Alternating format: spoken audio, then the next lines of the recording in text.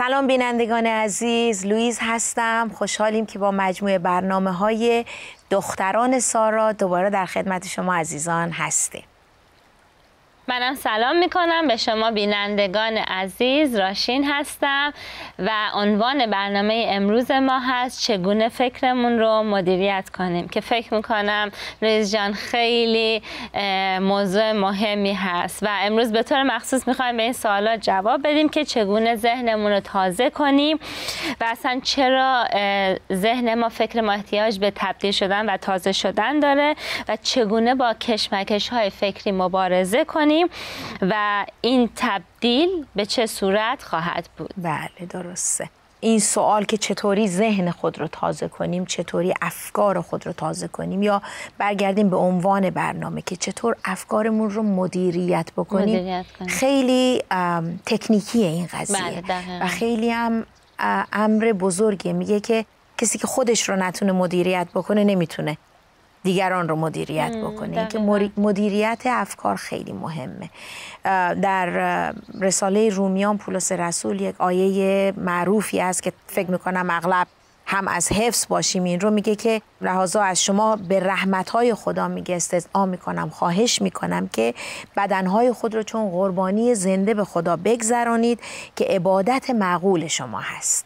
و بعد میگه هم شکل این جهان مشوید بلکه به تازگی ذهن صورت خود را تبدیل بده یعنی اینجا تازه بشه این قیافه عوض میشه. عوض دقیقا داره این رو میگه. میگه شما خود رو مثل قربانی زنده هر روز بذارید روی مذبح خداوند.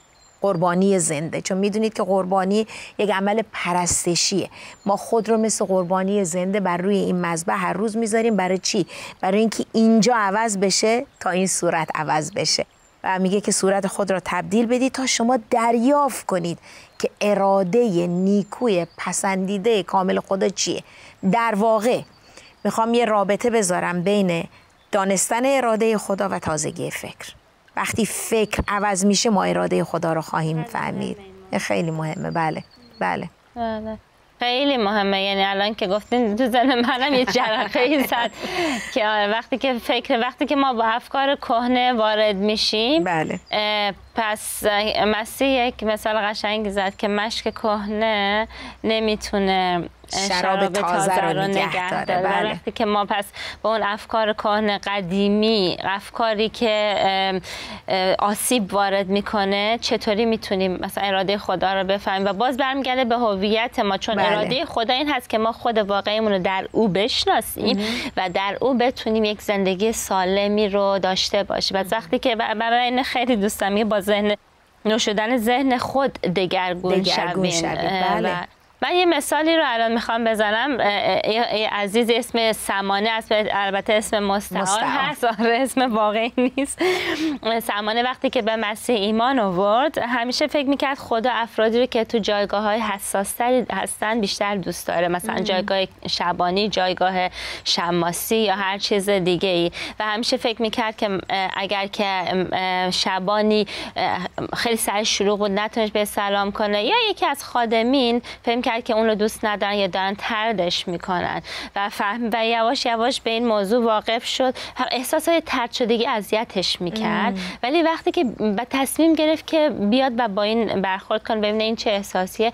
و جالبه اومد و ریشه اون افکارش بود. یعنی با فکر خودش این احساسات ما, خ... ما با فکرهای خودمون بله. احساسات آسیب دیده وارد می‌کنیم. احساس ترشدگی احساس ترد احساس شرم احساس خشم هم احساس هایی که کاذب به طور کاذب خشم خوبه ولی کاذبش ویرانگره. منفی. منفی. بله, بله. و بعد فهمید که نه اشتباه می‌کنه و بعد شروع کرد فکر ما چون توی برنامه صحبت شد که ما با خودمون حرف می‌زنیم بله. افکار منفی بله. تکرار می‌کنیم بله. بله. و بعد سمانه با خودش مگه خب پس بذار من فکرم رو مرتب یعنی رو فکرم جمع جورش کار کنم جمع جورش کنم آره. و با خودش گفت مثلا اگر فلانی به من سلام نکرد شاید عجله داره شاید باید بره یه کاری بکنه و یواش یواش این رو احساساتش تاثیر حالا بیشتر توضیح میدیم در این مورد در بله. برنامه بله. نکته جالبی رو مطرح کردید. آیه که گفتیم از رومیان باب دوازده آیات یک و دو دو مورد رو اشاره می‌کنه که اینها خیلی به هم مربوط هستن. یکی اراده خدا رو مطرح می‌کنه و اینکه ما چطور اراده خدا رو از طریق تبدیل ذهن ما این رو بدونیم. البته تازگی ذهن و تبدیل صورت در واقع این دوتا به هم مربوط هستن. خیلی وقتا هم در مورد اراده خدا ما یه کلمات کلیشه‌ای خیلی میشنویم. مثلا طرف می‌خواد یه تصمیمی در زندگی بگیره برمیگرده می‌خوام ببینم اراده خدا چیه. در حالی که از قبل خودش تصمیم گرفته. مثلا می‌خوان جایی برن و کاری بکنن و چیز و از قبل می‌دونن می‌خوان چی کار بکنن. بعد میگیم خب حالا ببینیم اراده خدا چیه در حالی که واقعا چون کلیشه ای شده. اما حقیقتا اراده خدا دانستن اراده خدا فهمیدن اراده خدا در دو چیز خودشو مشخص می‌کنه. اولا که اراده مکشوف خدا بر بعضی از جهات یه سری چیزایی هست مثل اون ده فرمان دزدی نکن دروغ نگو قطع نکن. اینا اراده آشکار خدا هست. اینا اراده ای است که همه ما می‌دونیم که نباید اینجوری زندگی کنیم. نباید دروغ بگیم نباید به اصطلاح طمع بورزیم. ولی حکمت به ما میده. دانستن اراده خدا حکمت میده. چون ما به شبه آفریده شدیم در حکمت می‌تونیم شکوفا بشیم. و حکمت چیزی هست که ما می‌تونیم آگاهانه افکار خودمون رو در زمینه های پیچیده در جاهایی که یه چیزهای پیچیده و روشن نیست برای ما بتونیم قوه تشخیص داشته باشیم. این اراده خدا رو در واقع در این چیزها می‌تونیم بفهمیم. و دوم این که مسئله تبدیل تغییر و تبدیل از طریق عوض کردن فکر خودمون. و این چطور می‌تونیم ما فکر خودمون عوض بکنیم. این یک سوالیه که من فکر کنم هم از خودمون باید بپرسیم هم از بینندگان عزیز. چطور می‌تونیم افکار خودمون رو تازه کنیم؟ دقیقا باز برمیگردم به مثال سمانه که بله. سمانه به یه جایی رسید که اولا که تصمیم گرفت که اون تغییر رو در وجودش بیاره فکر کنم اولین قدم اینه که ما افکار مسموم و افکار منفی و افکار مثبت از هم بله. جدا کنیم و یه چیز دیگه که به ما کمک می‌کنه توی شناخت افکار احساساتمونه دقیقا. خیلی وقتا ما یه سری احساساتی داریم که اونا ما رو اذیت می‌کنن و برگردیم ببینیم من چرا مثلا این احساس ترس رو دارم؟ من چرا این احساس منفی رو دارم؟ و بعد ما رو می‌بره به اون فکری که ما داریم به خودمون میگیم. مثلا من الان دارم من میترسم. حالا چرا دارم میترسم؟ مثلا چون دارم میرم مثلا می‌خوام بیام تو برنامه دختر بله. نسارا صحبت کنم. تو برنامه دختر نسارا صحبت کردن که ترس نداره که خواهر لویز جان هست کنه عزیز هستن. پس یه ذره خودم آروم, آروم یعنی منظورم افکار یا حالا یه چیز دیگه مثلا طرف فلان از این ناراحت هم که توی مهمونی اون دو نفر به من خیلی من تحویل نگرفتن. خب بعد می‌تونه بهش بگه به افکار خودش بگه. اون دو نفر غرق صحبت خودشون بودن. شاید موضوع خاصی بود. پیش فرضات پیش داوری ها بله. بله. که این فکرای فکرای ما ما با خودمون حرف می‌زنیم پیش فرض می‌گیریم دقیقاً بله. اون درست دقیقاً. اسمش روش است. پیش فرض. فرض. پیشه. هنوز اتفاق نیفتاده. دوم میگه اصلا فرضه. یعنی در هر حال منفی در منفی. واقعیت نداره. پیش فرض ما با یه سری ساختارهای فکری که رو فرضیات بنا شده داریم با مسائل برخورد می‌کنیم. این خیلی مهمه. جان پایپر یک جمله معروف و قشنگی داره. من خیلی خوشم میاد از این حرف. میگه که مسیحیان بیخاصیتی خواهیم بود اگر فقط هم شکل دنیای اطراف خودمون بشیم. یعنی بشیم همرنگ جماعت. بیخاصیت میشیم برای اینکه تاثیر نمی‌ذاریم. در حالی که هدف خدا اینه که ما از طریق تازگی فکر رو محیط بتونیم اثر بذاریم بتونیم باعث درست شدن یکی دیگه بشیم. پولس رسول باز ما رو تشویق می‌کنه میگه که هم شکل این جهان مشوید بلکه کاملا تبدیل شوید. تبدیل یعنی چی؟ یعنی یه چیزی که مثل قبل نیست. در ماهیت عوض شدیم. این یعنی تبدیل. یه شخص تازه. تغییر کامله. از تغییر بنیادیه. که این کلمه تبدیل رو که پولس رسول استفاده می‌کنه در یه جای دیگه این مسئله مطرح شده. اون کلمه ای که براش هست دقیقا همون کلمه ای هست که در متا باب 17 و مرقس 9 اون جایی که عیسی بر روی کوه میگه تبدیل هیئتش اون ماهیتش صورتش تغییر کرد. اون تبدیلی که انجام شد در واقع چهره واقعی خودش رو به سه تا شاگردان نشون داد. این اون کلمه رو داره استفاده می‌کنه ازش. یعنی اینکه این تبدیل از بیرون نیست بلکه از درونه. ماهیت درونی خودش رو در واقع نشون میده. که ما در اون تبدیل هیئت می‌بینیم که چهره عیسی عوض میشه لباسش عوض میشه. دو تا چیز کاملا واضح و مرئی. بر یه همچین این تبدیل فکر در واقع اینجوری باید باشه. یعنی یه چیزی که به ظاهر دیده بشه. هم لباسش تغییر که هم صورتش تغییر که میگه صورتش مثل خورشید درخشنده لباسش چون نور سفید شد. بنابراین ما از نظر روحانی و اخلاقی یه همچین تبدیلی باید در ما صورت بگیره. وقتی که ما اینجوری فکر و ذهن خودمون رو تغییر و تبدیل میدیم که در جامعه اطراف بتونیم بدرخشیم. میگه که جوری تغییر بکنید که صورت شما تغییر کنه. فکرتون جوری عوض بشه که چهره صورتتون تغییر کنه. این دیده بشه. که ما چه هست دقیقا میگه که عطر آن است که ب... خود ببوید. ببوید نه آن که عطار بگوید. عطر خاصیتش چیه؟ عطر افشانیه.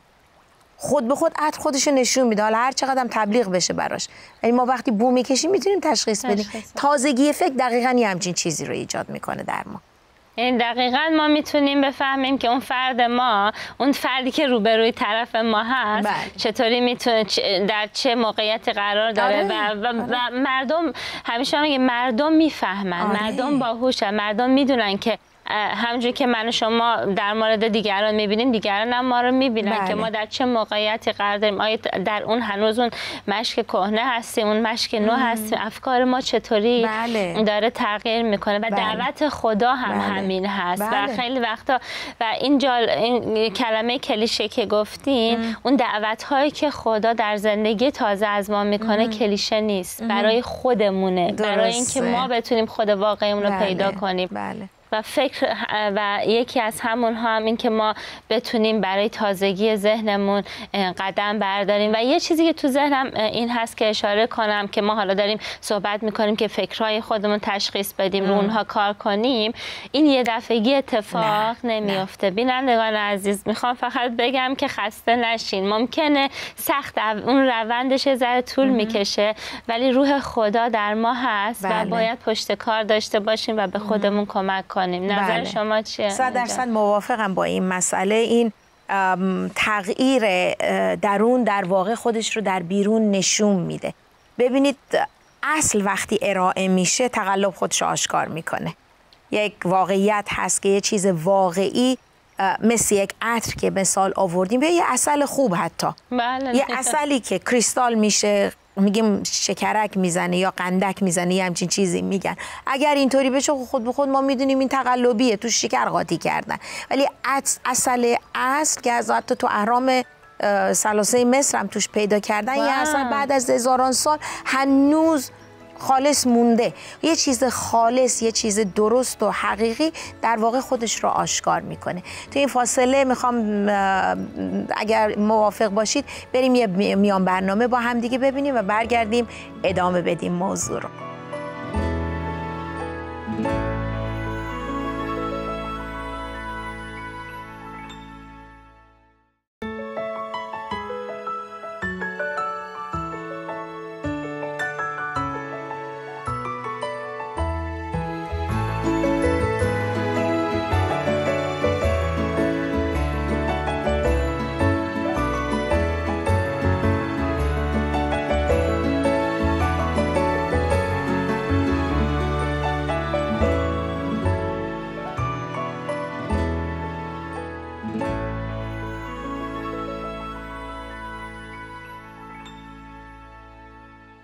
خب بینندگان عزیز دوباره در خدمت شما هستیم. پس داشتیم می‌گفتیم که تغییر و تبدیل خودش رو نشون میده. یعنی زمانی که من اون تبدیل و تغییر در من صورت می‌گیره در ذهن من مردم می‌تونن متوجه بشن که من اون راشین قدیم نیستم یا دارم تغییر می‌کنم. بله بله.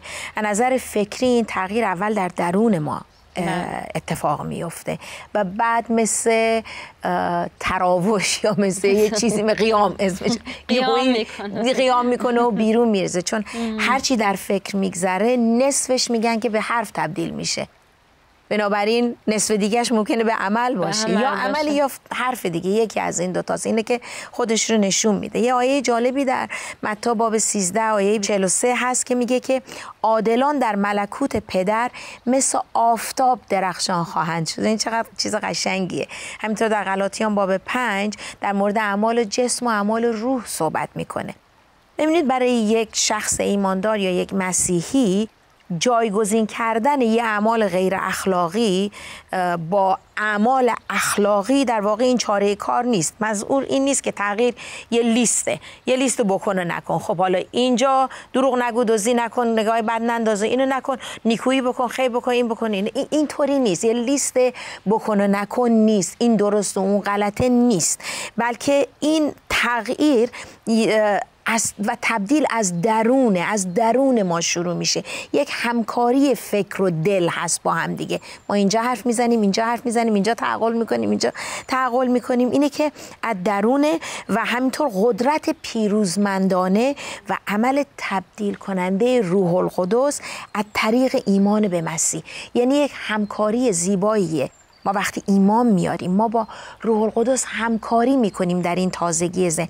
که قسمتی از همون تولد تازه که گفتم قسمت اعظم تولد تازه در واقع در تازگی ذهن صورت می‌گیره. فکر ما عوض میشه. یه تغییر عمیق که به خون گرانبه های مسیح خریداری شده و این روح القدس که اینو در ما فرم و شکل میده در واقع. در درون این تغییر کمکمون می‌کنه که از طریق روح تبدیل بشه تبدیل بشه بله. و, بله. و یه, یه موضوع مهمی که شما هم بهش اشاره کردین این تبدیل یه لیست کلیشوار نیست در واقع تبدیل تقلید نیست نه. در واقع وقتی که من می‌خوام تبدیل بشم تمام وجود و درون من تبدیل میشه ما خیلی شهادات خیلی داستانهای زندگی بله. میشنویم افرادی که در اعتیاد بودن افرادی که در مشکلات بله. خیلی عدیده خیلی عمیقی بودن. وقتی که به مسیح ایمان میارن به مرو... یعنی خدا بهشون کمک می‌کنه که اینه کنار بگذارن. و وقتی که دوستاشون میبیننشون میگن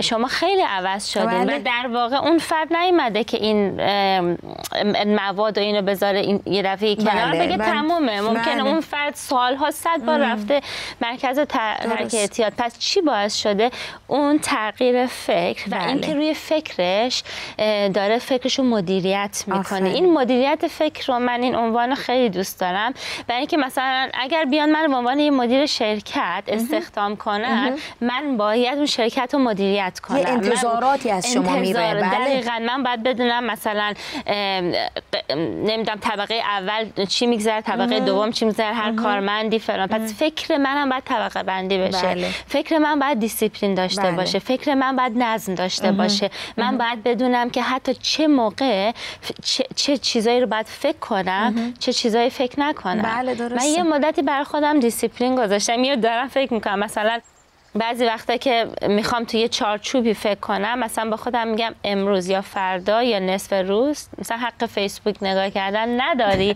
بعد فکرت رو این تمرکز آره، بدی. آره. یا حق نمی‌دونم مثلا فلان حالا هر کار این چون و این چقدر به من یا کمک می‌کنه به هر کسی که فکرم رو مدیریت کنم حواسم به فکرم باشه و اونو بگم بدونم که چه, چه چیزی رو مرکز فکرم در اون موقع قرار بدم چه چیزی رو ندم. بله درسته. یکی از نشانه های اصلا تازگی فکر اینه که در ما اون میل و اشتیاق به تغییر ایجاد میشه.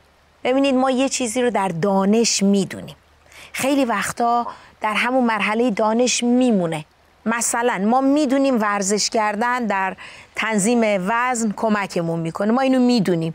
ولی آیا همیشه این رغبت و میل در ما هست که تو هوای سرد یا هوای گرم یا در هر شرایطی ما لباس ورزشی بپوشیم بریم بیرون بدویم یا بریم را بیفتیم بریم جیم ورزش بکنیم. اینکه دانستن یه چیزی یه مسئله است و اون میل و رغبت اون چیزی که ما رو وادار بکنه انگیزه در واقع. بخواد ما رو وادار بکنه ما بتونیم وارد عمل بشیم. چون خیلی مهمه. تغییر و تبدیل زمانی صورت می‌گیره که من نوعی مایل باشم تغییر بکنم. اون انگیزه چجوری به وجود میاد؟ بله چطوری می‌تونم انگیزه به وجود بیاریم؟ کلام خدا و دیسیپلین شما اشاره کردید. مسئله انضباط فکری هستش. ما آیه جالبی هست در یکی از این مزامیر که داوود با خودش داره حرف می‌زنه. به خودش میگه ای جان من چرا منحنی شدی؟ چرا چیز شدی؟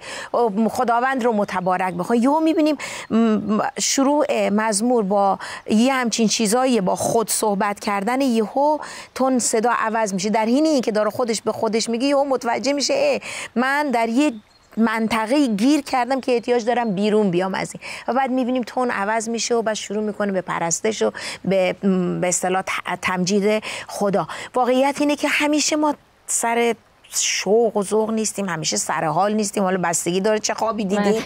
بستگی داره که از کدوم دنده به قول معروف سر صبح بیدار. شدیم.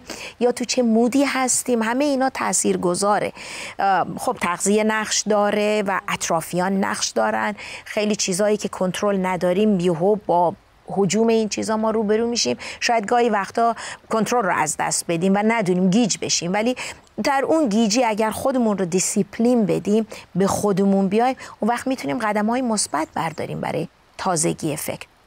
تازگی فکر با تصمیم مصمم و با انضباط فکری شروع میشه با میل و رغبت شروع میشه و اینکه یه نکته جالبی که شما خیلی اشاره کردید تو این مدت اینکه لیست بنویسیم.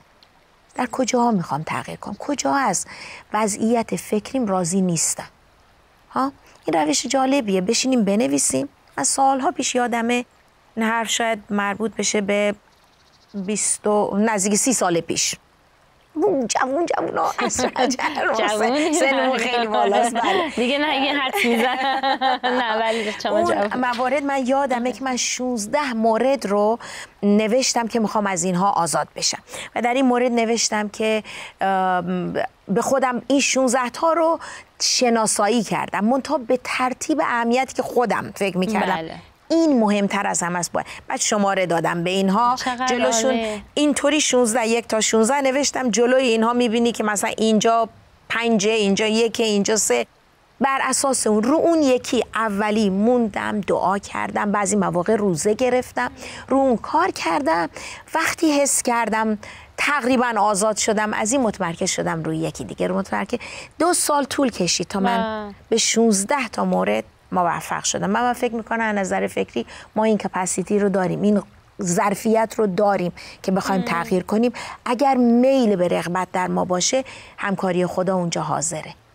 ما بخوایم روح القدس حتما کمک می‌کنه ما رو. نه دقیقا همینطوره. یعنی من خیلی وقتا من قبول ندارم حتی برای خودم بعضی بله، بله. ما یه سری بهانه های میاریم. من نمی‌تونم ولی فلانی می‌تونه و و, و خدا این قابلیت رو به همه ما داده که بتونیم حالا بسته, بسته به وضعیتی که هستیم یا بودیم شاید طولانی تر باشه بله. شاید کوتاه مدت تر باشه ولی این هست و این ذهن ما این قابلیت تغییر رو داره همونجور که برای سمانه من یادم حتی باش صحبت می‌کردم و تصمیم گرفت که این فکر رو انجام بده. چون بعضی ما به یه جای می‌رسیم. من مخصوصا دقت کردم مثلا وقتی که به مسیح ایمان میاریم ما اوایلش خیلی خوب مثل بچه دست هیجان داریم. آره. ولی یه دفعه انگار یواش یواش آروم میریم. آتش شو خاموش میشه یه جورایی. یواش میریم پایین. و جالبه برای سمانه هم اینطوری شد و میگفتش که من نمی‌دونم یه جا دیگه انگار گیر کردم. بین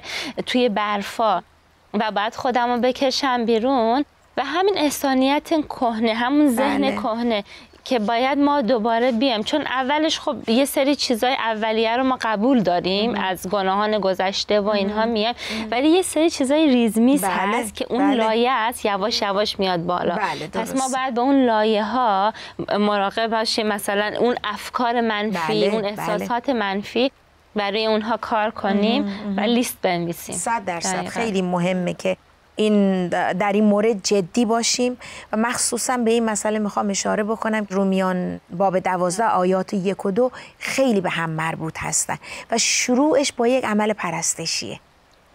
در پرستش خیلی چیزا عوض میشه. چون در پرستشی که ما تمامیت خودمون رو داریم تقدیم خداوند می‌کنیم و داریم میگیم خداوند ارزش تو بالاتر از همه اینها هست. چون تو ارزش داری به خاطر وجود تو تو زندگی من من حاضرم خیلی چیزا رو قربانی بکنم.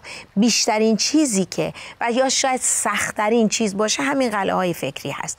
یا این که بخوایم انضباط بدیم فکر خودمون رو که در این مورد عوض بشیم و ارزش هامون تغییر بکنیم. برای اینکه طبیعتا افکار ما خداگونه نیست. بله. در فکر ما طبیعی خداپرست نیستیم. باید خودمون بکشیم. بله. بیشتر خود پرستیم تا خدا پرست به حدی که این در واقع روح افکار ماست. ما افکار ما روح داره. و چون که پولس خودش میگه که به افکار ما باید تازه بشه. روح افکار ما میگه به روح تازه ذهن خودتون رو تبدیل بدید. که این خیلی مهمه که به اصطلاح کمر دلهامون رو ببندیم. همونطور که پتروس میگه هوشیار باشیم. و در این امید به اصطلاح کامل اون فیضی که میگه در مکاشفه عیسی به شما عطا شده ما در اون مثل ابنای اطاعت یعنی فرزندان اطاعت ما مشابه بشیم به خود مسیح ولی مشابه اون شهوات و امیال جسمانی دنیا نشیم. پتروس میگه که ما باید افکار ما رو برای یه سری عملیات آماده بکنیم. عملیات به قول معروف تهاجمی برداریم این سری چیزها رو غل و غمش بکنیم و از بین ببریم. که این سرکوب در واقع یه سرکوب ارادی هست که حقیقت خدا. در واقع ما افکار خودمون رو با حقیقت خدا می‌خوایم روبرو بکنیم. حقیقت کلام خدا. در این حقیقت کلام خدا هست که ما می‌تونیم در واقع در تازگی ذهن با موفقیت جلو بریم. می‌تونیم این کار رو انجام بدیم. من بله. خیلی مطمئن هستم که ما بخوایم روی خدا حتما کمکمون می‌کنه صد درصد. فقط تصمیم ما هست. بله. خیلی قشنگ گفتین که اون حقیقت کلام خدا بله. وقتی که من تشویق می‌کنم هم خودمون و هم بینندگان که کلام خدا رو بیشتر بخونیم. نه چون یک کلیشه باشه یا فقط خدا راضی کنیم چون برای زندگی خود ما منا... یعنی اصلا به ما کمک می‌کنه و حیات زندگی ما هست. و بینندگان عزیز پس ما هم امروز همطور که ما این قدم برداشتیم شما هم تشویق می‌کنم که این قدم رو بردارین. راه های عملی که بهش اشاره کردیم باز همین که افکار کهنه خودمون رو بشناسیم افکار قدیمی رو بشناسیم. اونا رو بنویسیم و بعد بهشون آگاه بشیم و, و بعد از روح خدا بخوایم که به ما کمک کنه بله. و این قدم رو برداره. و دعای ما این هستش که شما عزیزان در مدیریت فکر فکرتون هم با همکاری روح القدس به پیش برین و مطمئن هم که موفق خواهید شد و قوت خدا هم با شما خواهد بود. بله. تا برنامه دیگه همه شما رو به خدای بزرگ میسپاریم. خدا یار و نگهدار همه شما.